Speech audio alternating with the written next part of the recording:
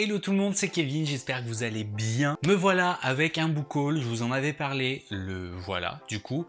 Euh, parce que bon, c'est pas parce que je ne lis plus que euh, ma palle arrête de grossir. Euh, faudrait d'ailleurs un jour que je me raisonne parce que sinon j'aurais pas assez de toute ma vie pour lire ce qui est déjà dans ma bibliothèque. mais bon, même si je ne lis plus, comme je vous ai dit, j'ai toujours envie de lire, c'est ça le problème. Et du coup, ben, on est toujours susceptible d'acheter, d'acheter quoi. Voilà. Donc vu que ça fait très longtemps que je vous ai pas fait de book haul parce qu'il y a certains bouquins qui sont sortis depuis euh, fin d'année dernière, donc euh, globalement je sais que ça fait très longtemps. Euh, je me souviens plus dans quel ordre je les ai reçus, achetés, etc. D'habitude c'est comme ça que je vous le présente. Et du coup là je vais vous présenter par catégorie, genre acheté, offert, tout le tralali, tout le tralala. Et on va commencer par les campagnes de financement participatif parce que j'en ai participé à plusieurs. je vais commencer par un truc auquel je participe depuis plusieurs années maintenant, c'est le PLIB, euh, le prix littéraire de l'imaginaire de Booktubers App. Le roman, donc La force du réveil de l'odieux connard, euh, édité chez Brajlon. L'odieux connard, je ne sais pas si vous connaissez, mais euh, il fait des parodies d'énormément de choses. là, c'est la parodie de Star Wars, du coup, Naz Wars voir. Après, c'est de l'humour bien lourd, assez noir et à prendre au second degré. Hein. Mais euh, du coup, quand j'ai vu ce, livre en contrepartie, je l'ai pris. Il y avait d'autres contreparties qui auraient été susceptibles de m'intéresser, mais elles sont parties beaucoup trop vite. Donc, euh, bah, j'ai pris ce qui restait. Et euh, c'était ce qui m'intéressait le plus parce que dans tous les cas, je voulais à tout prix participer à cette campagne. Donc, voilà pour, pour la contrepartie.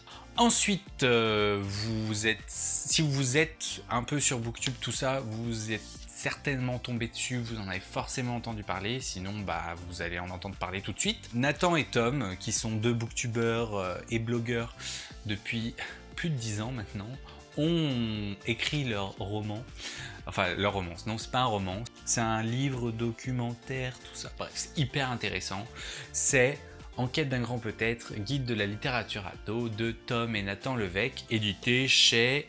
Euh, comment ils l'ont appelé leur maison d'édition? Un grand peut-être, je crois. Si je dis pas de bêtises. Enfin bref. Et en fait, ce livre est juste génial parce que il vous raconte plein de choses sur la littérature ado, donc euh, son histoire, etc.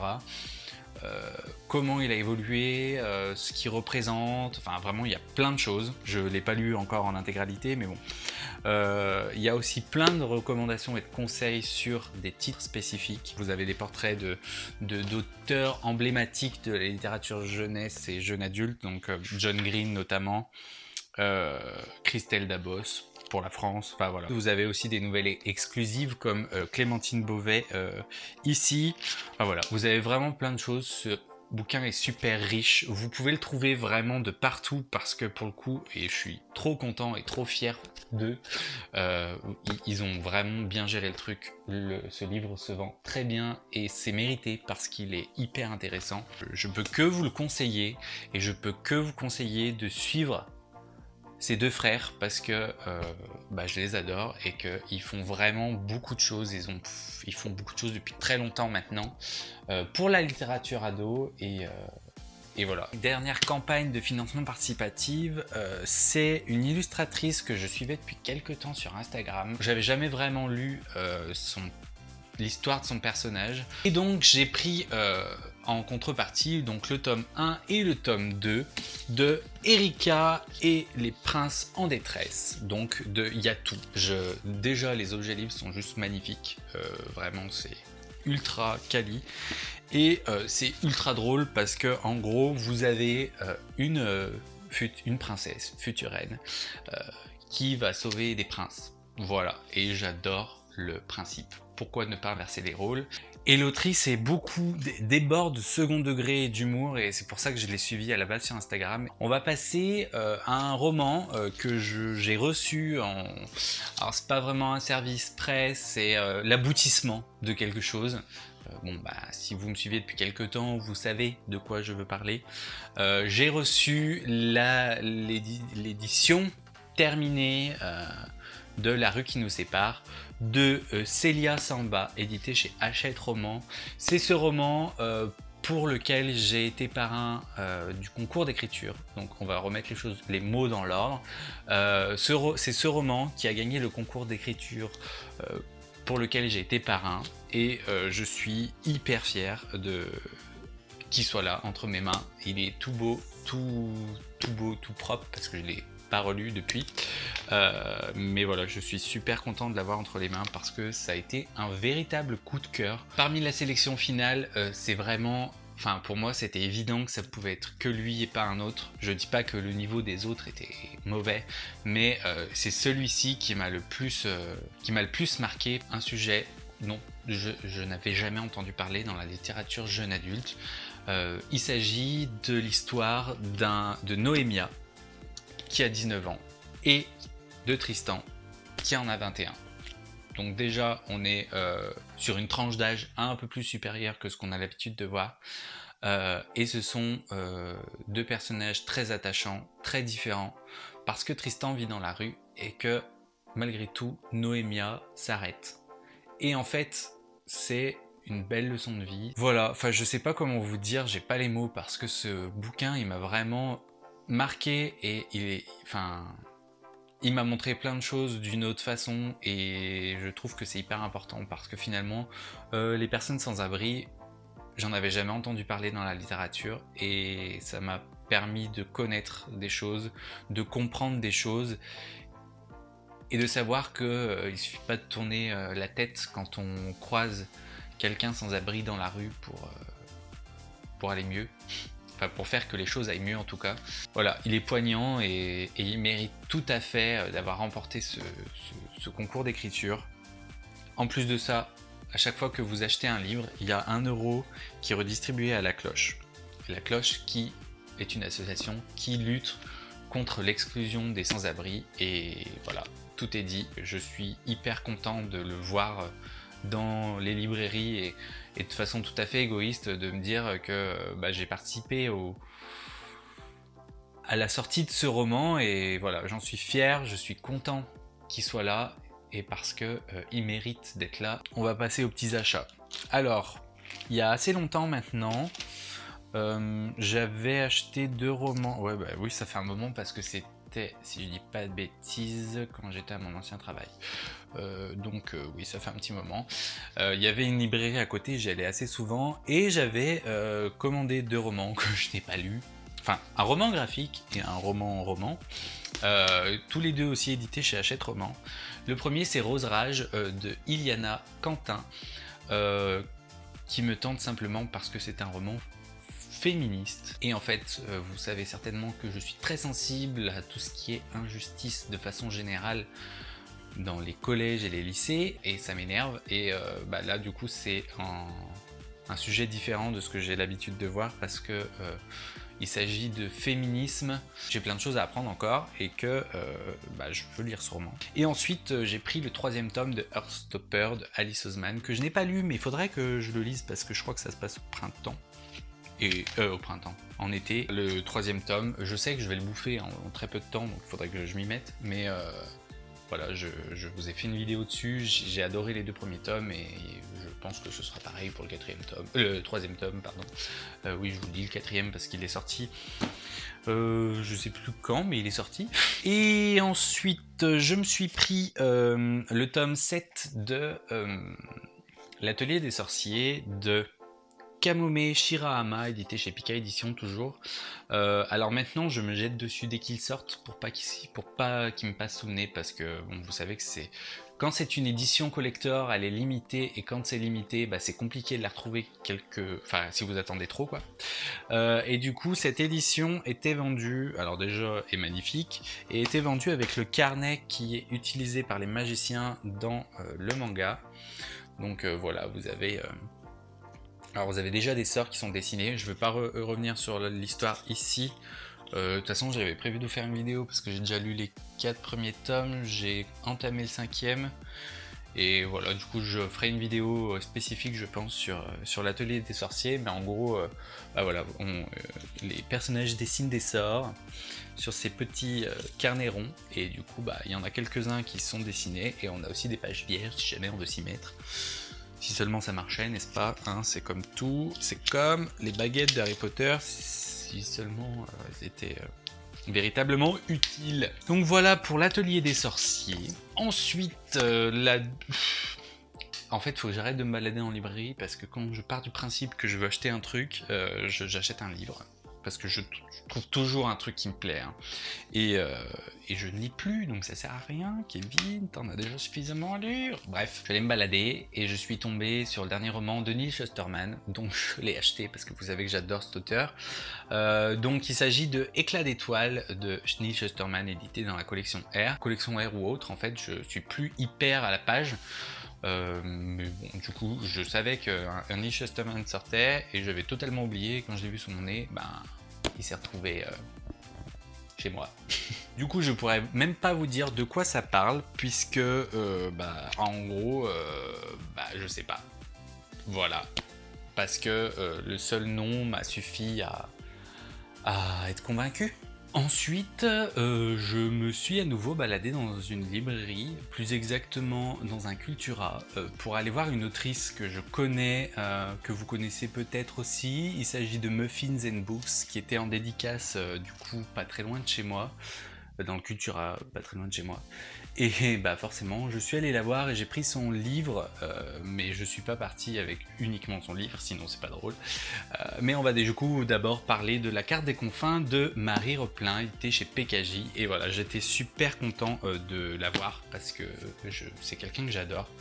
J'adore la suivre sur Insta, on s'était déjà croisé plusieurs fois sur les salons et c'est toujours quelqu'un d'aussi adorable c'est cool de pouvoir discuter avec elle et du coup bah, j'ai pu faire dédicacer son roman. En plus de ça, elle m'a donné un joli marque-page de, euh, de son héroïne, mais surtout euh, édité, illustré par euh, Hélène Illustration. Et si vous me suivez depuis quelques temps, vous savez que j'adore cette illustratrice. J'ai plein d'illustrations. D'ailleurs, j'en ai même trop. Euh, voilà, j'adore euh, ce que fait Hélène. Euh, donc du coup, bah, c'était le petit bonus avec ce roman. Et du coup, comme je vous ai dit, je suis pas parti uniquement avec la carte des confins et j'ai pris le quatrième tome de. Du coup, voilà, un peu plus tôt, je vous disais que je n'avais pas lu le tome 3, mais j'ai quand même acheté le tome 4. Et ensuite, donc ça c'est un peu plus ancien. Alors pour vous dire que ça attendait que le boucol, c'est encore dans le sac enfin quand je l'ai acheté quoi, on m'a mis dans un sac et c'est resté dans le sac depuis. En gros, je vais déjà arrêter avec le bruit, ce serait sympa. En gros, pendant mes vacances, donc je suis parti en vacances au mois de juin, il y avait un salon euh, de la BD euh, historique, donc euh, spécifique vraiment sur les BD qui parlent de l'histoire, quoi. et je voulais aller faire un tour parce que ça faisait longtemps que j'ai pas participé à ce genre d'événement.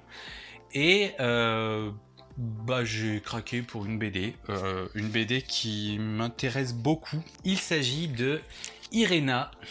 Euh, Irena. Euh, donc le tome 1, Le Ghetto, et le tome 2, Les Justes. Alors, il y a du monde qui a travaillé là-dessus, donc déjà c'est édité chez Glénat.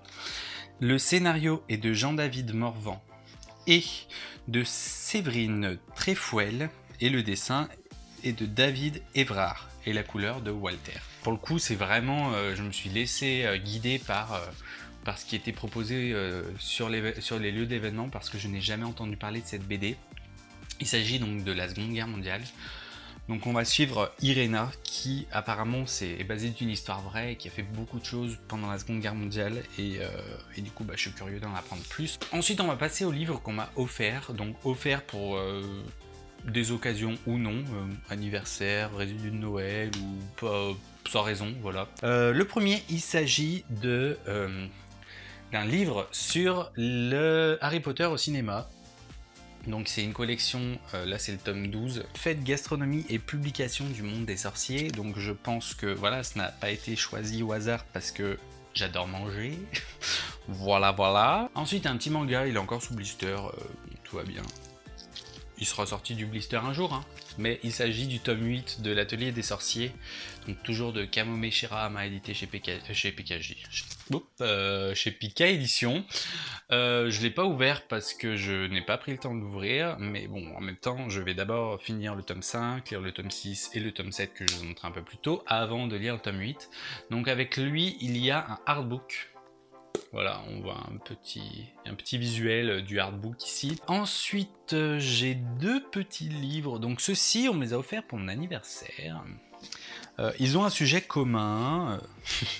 Euh, le premier, en plus, bah, il tombe totalement euh, dedans, puisqu'il s'agit de un joyeux non-anniversaire de Liz Braswell, donc, qui fait partie de la collection des Twisted Tales, édité chez Hachette Hero. On a un petit sourire là-dessous du Cheshire, bien sympathique.